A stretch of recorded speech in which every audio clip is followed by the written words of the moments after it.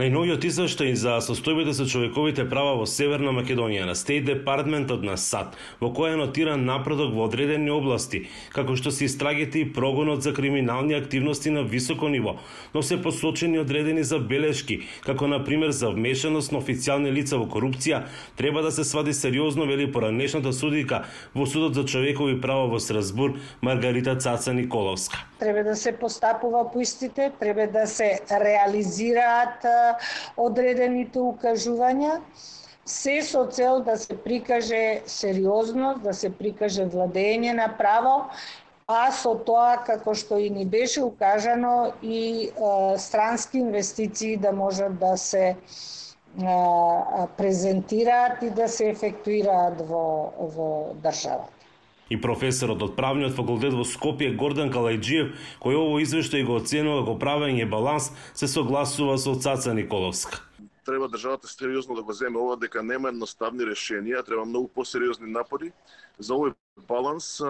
ефикасни истраги заедно со со коректно почитување на човековите права да се изведе на начин на кој што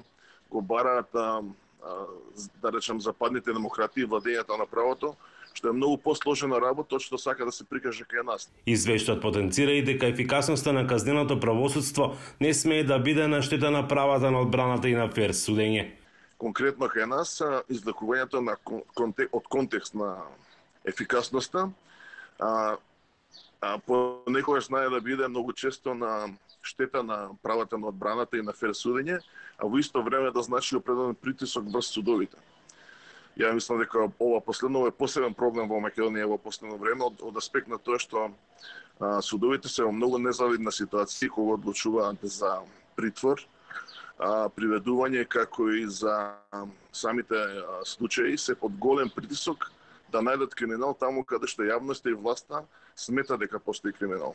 Стеј департментот забележува дека владата покажала голема почит кон судската независност и непристрасноста во однос на предходните години, но се забележува дека обвинителите често ги пробиваат законските рокови за комплетирање на истрагите, а за тоа не сносат никакви последици. Она што е особено важно е констатацијата дека има проблеми и во делот на финансирање на судството. Тоа односно дека оној износ кој што е определен за судството, што се однесува и за обвинителството, се уште целосно не е